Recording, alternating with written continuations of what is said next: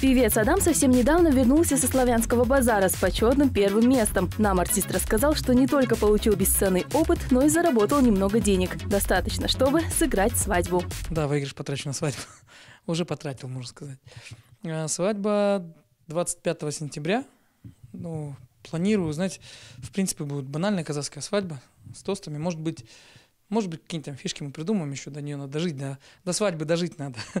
Но и про работу Адам тоже не забывает. Он вернулся и готов творить с новыми силами. Планы уже построил грандиозные. Я планирую новый дуэт. А, Есть замечательная певица а, в Астане, зовут ее Дианора. Ее так и зовут, на самом деле, это не псевдоним. Зовут ее Дианора. Вот. а, Она сочинила хорошую песню. Я думаю, эта песня будет хитом. Кстати, если немного денег все же останется, то певец планирует пустить доступные средства в работу. Если успею, если все нормально будет, то, может быть, я сниму еще один клип а, на свою авторскую песню. Не, не мою авторскую, не которую я сочинил, а сочинил ее мой друг, одноклассник Олжас Абдрахманов.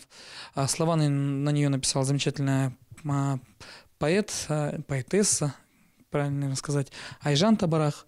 Песня называется «Коштасу». Если получится, то, наверное, на нее я сниму еще клип. А вот избранницу певца зовут Дана. В отношениях с ней Адам уже 8 месяцев. Она с Павлодара, она помладше меня.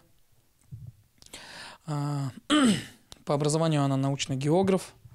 Что еще могу сказать? Такая творческая, открытая личность, добрая, во всем меня поддерживает. В общем, мы еще раз поздравляем певца с первым местом в таком масштабном конкурсе, а также желаем ему счастливой семейной жизни.